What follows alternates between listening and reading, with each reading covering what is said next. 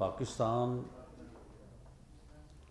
कई दहाइयों से दहशत गर्दी की आग में जो है वो जुलस रहा है।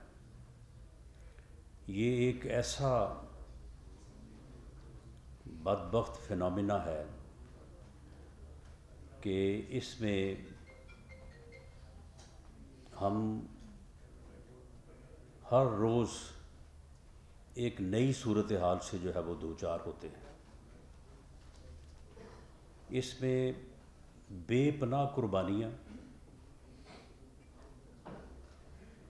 आम शहरी से लेके हमारी मसल्ला अफवाज हमारी पुलिस, हमारे रेंजर्स, हमारी एजेंसीज़, यानी हर मकतबा फ़िक्र ने हमारे सहाफ़ी, सियासतदान कोई तबका ऐसा नहीं है कि जिसने जो है वो इसमें कुर्बानी पेश ना की हो या इसका शिकार ना हुआ।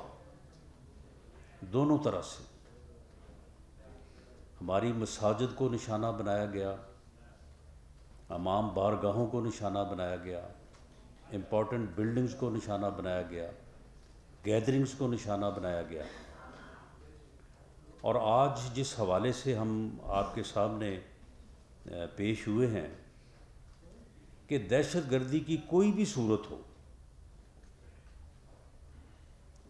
उसके पीछे कहीं ना कहीं जो है वो इंडिया की जो है वो इन्वॉलमेंट जो है वो नज़र आती है।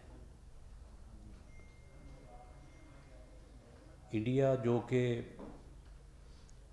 इस वक्त एक दुश्मन मुल्क से भी जो है वो आगे उसकी कार्रवाइयाँ जो है वो जा चुकी हैं इस हवाले से। वो सिर्फ़ अपने जुल्म को छुपाने के लिए। कश्मीर में बदतरीन जुल्म इस सदी का, इस दौरे हाज़र का पिछले सत्तर साल से कश्मीर हिंदुस्तान के ऐसे जुल्म का शिकार है कि जिसकी कोई मिसाल नहीं मिलती। और बदकिस्मती हमारी देखें कि उस जुल्म को जस्टिफाई करने के लिए जो है वो नित नए, जो है वो बहाने तराश के इंटरनेशनल कम्युनिटी को जो है वो जो है वो अपने हक में करते हैं।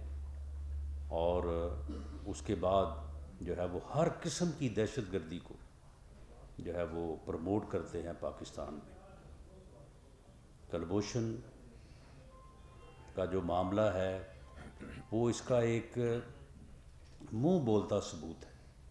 यानी एक ऐसा सबूत है कि जिसमें किसी दलील और एविडेंस की ज़रूरत नहीं है, वो कलभूषण का गिरफ़्तार होना और उसका अपना बयान जो है वही इस बात के लिए काफ़ी है।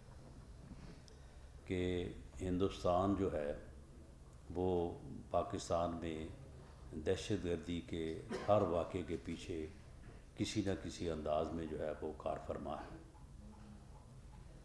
ये वाक़ जिसके मतलब आज आपको आईजी साहब जो है वो ब्रीफ करेंगे, इसमें ऐसे वाज सबूत हैं कि हिंदुस्तान जो है वो दहशत गर्दी में किस तरह से जो है वो मुलवस है? वैसे तो जिस तरह से मैंने अर्ज़ किया कि हर वाक़े में ही ऐसा है और बहुत सारे वाक़ात हैं जिनमें जो है वो वाज सबूत भी हमारी एजेंसीज़ ने जो है वो पकड़े हैं।